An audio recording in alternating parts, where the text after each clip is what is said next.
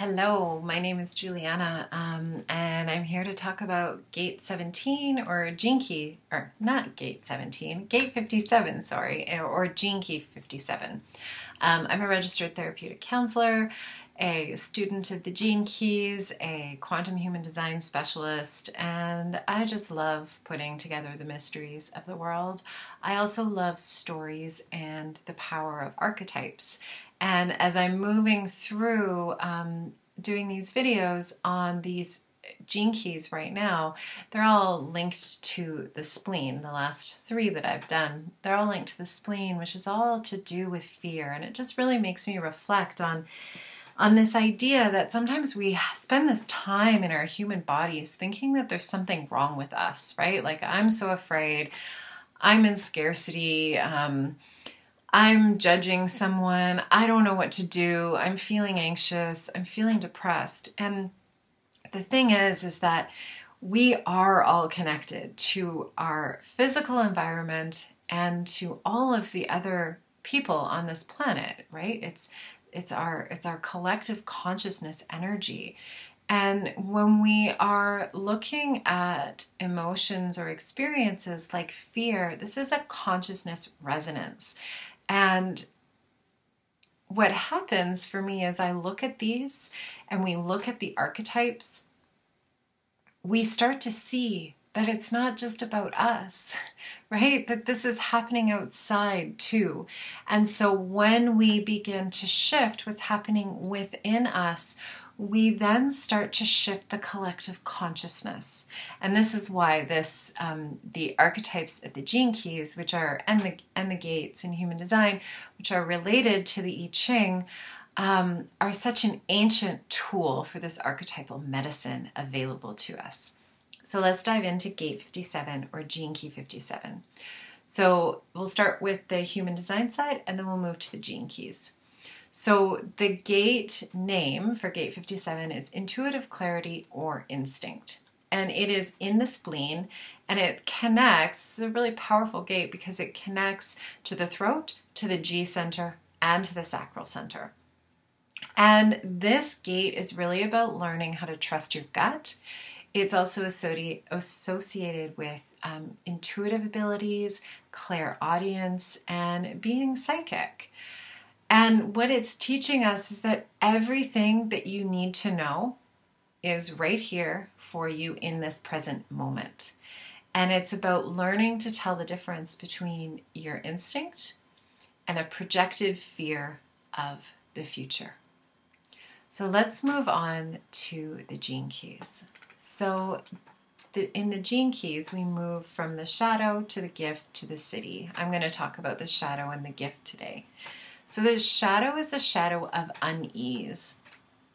And if you think about that word, you just think about unease, like when you say, I feel uneasy, it's this uncertainty and this fear about what we don't know what might be coming. Right? It's like it's like we we become uncertain and it's like we're trying to project into the future of, oh no, what's coming towards us? And that unease really starts to um, rear its ugly head when we begin to try to make our decisions from our minds. Because our minds are really intelligent, and our minds are here to understand and grasp big concepts and hold inspiration and be this like receiver of divine knowledge and to put different puzzle pieces together. That's why I love my mind with the gene keys and human design because it helps me link everything together as as well along with all the stuff that I know around psychology and ecosystems. Like I love that. That's what my mind does. But our world has conditioned us to make decisions from the mind. And that's not the mind's job. And so, what happens is that our instinct, our spleen, our nervous system, is here to keep us safe in the moment. The instinct, the splenic nature, this the nature of the spleen is to have in the moment truth about what's going on. And then it chooses a direction, it chooses a, um, a reaction based on what it's feeling in the body. But what happens is that our mind overrides that. And so then our mind is trying to do the job of the spleen or the nervous system. And well, it doesn't do the best job because that's not its job, right? It's the mind is seeking to find safety through planning and external structures and resources, like having a certain number in your bank account and um, following the news and making sure you're prepared in a certain way, right? And the thing is, is that this shadow of unease is really based in the nervous system, in the spleen. And this fear, right? If you think of unease, I mean, the last two and a half years have been filled with it, right? And so this fear, this uneasiness, is constantly being broadcasted throughout the collective consciousness in the bodies of all of us humans. And it's this uneasiness of what's going to come, and then doing all the things possible to plan for all of those potentials. Meanwhile, we we don't know what's coming and so then our bodies and then our minds perpetuate this feeling of unease because then we because then they realize well i actually don't know what's happening but our bodies do and so on one side of this shadow it's where we become hesitant and it's like when that intuitive hit that we get from the splenic authority or from your spleen or just that intuition, like you hear, like it's like you, the clairaudience, right? It's like, oh, I know this. But what happens when it when we're hesitant is that gets suppressed or overridden by the mind. And the body knows what's correct, but the mind um, dismisses it. And then we hesitate and become trapped by our worries. Now, on the other end of the spectrum, this shadow of unease can become really impulsive. And it's this reaction that tries to ease the fear by making quick decisions that are not made from physical body knowing clarity, but rather by the fear. And reactive decision will often cause more turmoil than to help ease the fear.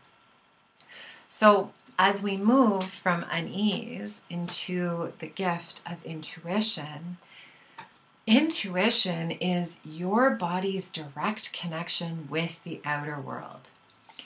And it's how we hear, right? Because this in uh, in human design, this is related to um, clairaudience, hearing what the next right decision is to move forward. And this really takes um, a receptive state of being because the voice of this of intuition of this gene key of the spleen is gentle and subtle. And it can be challenging to hear over the loud mind. And i can speak to this from experience because i i have i'm have the gate 57 defined in my human design chart. And I have spent up until the last couple of years in a consistent state of unease. What's going to happen? What's going to happen? And in the last two years, it's been this real calling for me to trust my in the moment knowing. I also have my spleen defined. And so when I discovered my human design type and when I started exploring the gene keys, it was really this um, push for me to get out of my head and drop into my body and my intuition and attune my ears to the gentle, subtle voice of my intuition. And we think of this receptive state of being, it's um, we when we think of receptivity, it's more of that feminine type energy of of allowing. And our world um, is in this process of, I believe, moving from a outward let's make things happen to a more masculine state of being to a balance between the masculine and the feminine state of being.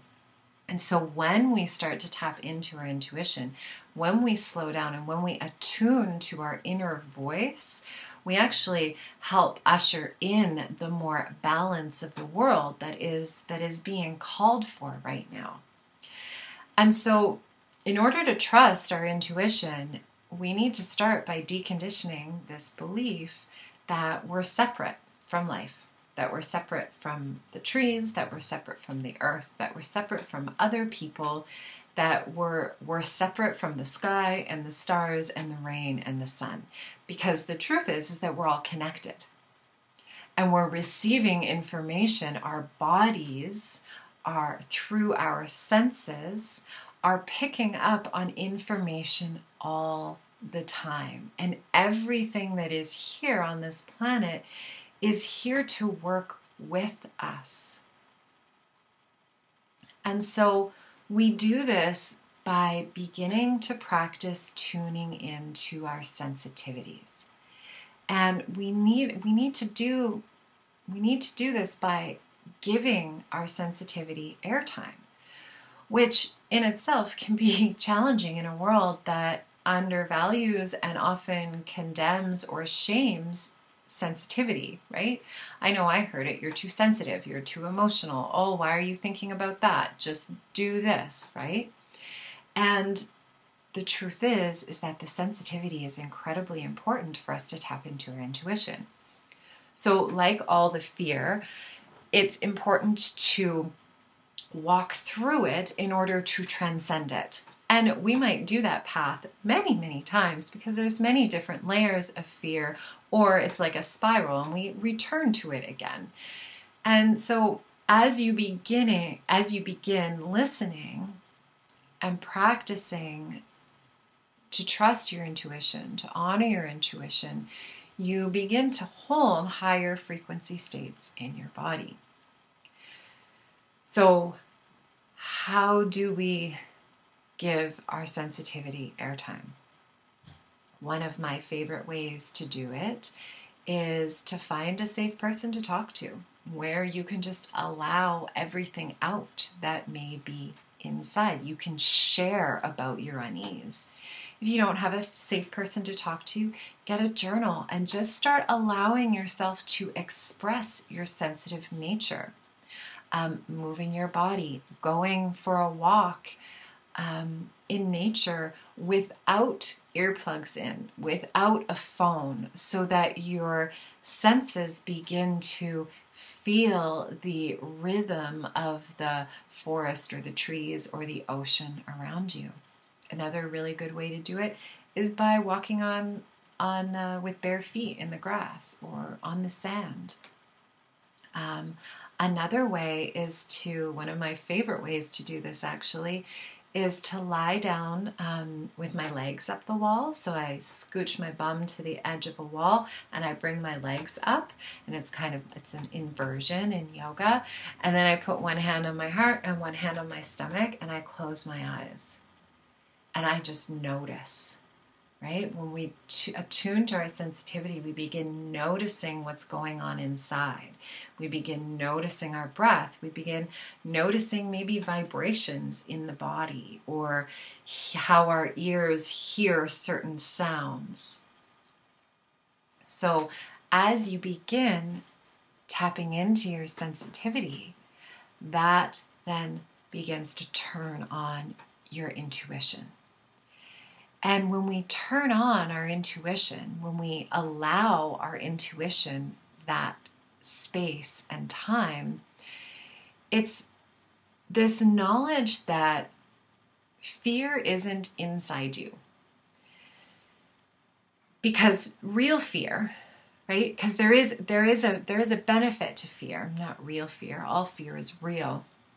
But that when we feel fear in the moment when our body goes, don't eat that food, or don't answer the phone, or um, walk that way down the street, or don't leave your house yet, leave in 15 minutes.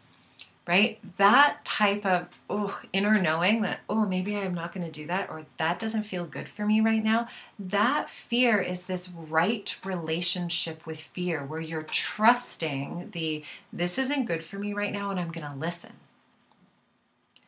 right? And then we start to move forward, knowing and trusting our intuition and our body that's going to tell us the truth about fear because fear is all based on this vibrational frequency that is in the world. And so while while you transcend this, while you move through this, while you integrate this, you're going to come into vibrational fear frequencies that are not yours, that are not coming from your nervous system that's giving you a cue, that are not coming from your intuition by your clairaudience, right? And as you tap more into the intuition, you might be, be picking up on little thoughts that drop in that are so quiet that you maybe not be able to hear them. And this is as you this is the ability that you're picking up on these vibrations that are in your auric field, that are in the world, that are there for you to access at any time. So I really, I really love this. Um, I really love this gate because it's very familiar to me. This gene key, it's very familiar to me because I have, I move on that spiral level from unease to intuition. The siddhi is is wisdom, and perhaps I have, uh, or is it wisdom? No, I think I I got that uh, wrong there. Sorry, disregard that. But it's this it's this interesting spiral of moving from unease to right i'm trusting my intuition and then life happens and i'm in an intuitive flow and then it's like i walk through a fear frequency or i'm triggered by my own limiting beliefs and then it's like oh here i go again. I need to move through this unease. I need to support my body. I need to get quiet. I need to listen. I need to hear my body. And then i tap back in to my intuition and then i keep moving forward in my life trusting that my body is going to give me all that I need. And I'm going to know what I need to know when I need to know it. So I really hope that was helpful. Um, I really appreciate you watching and listening. If um, I invite you, if you feel called to like, share, subscribe with anyone. Um, and again, thank you so much. This brings me so much joy to be able to talk about the gene keys.